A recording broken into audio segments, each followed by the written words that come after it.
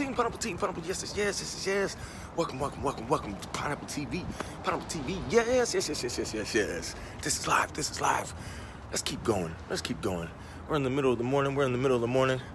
Normally we don't wake up this early, but hey, let's get out and let's enjoy the vibes, let's enjoy the vibes. And we're gonna share what the mindset of the day is. Mindset of the day. We're gonna start doing this from every every single day. You know, that way we can get on track. We can start off the day hella good, keep floating, and then coast on down, coast on down. So, mindset of the day, mindset of the day. Let's flow, let's flow, let's flow.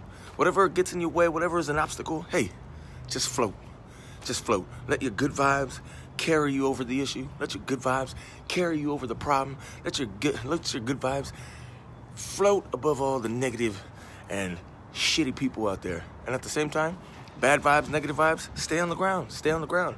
Not you though. Not you. Let your good vibes let you float. And at the end of the day, at the end of the day, when it's time to come down, you float on down, feel great about yourself. Practice your self-love. That's how you get your good vibes. That's how you keep it going. So with that said, with that said, get your self-love in, get your self-love in, keep flowing, keep flowing, let your good vibes let you float. And let's keep going. Stay magical.